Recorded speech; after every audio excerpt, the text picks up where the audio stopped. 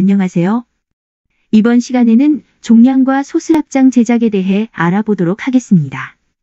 표준 부재를 만들며 진행하기 때문에 실제 도면 사이즈로 제작했을 때 결과가 정확히 되지 않는 문제들이 있으므로 참고하시고 보시기 바랍니다.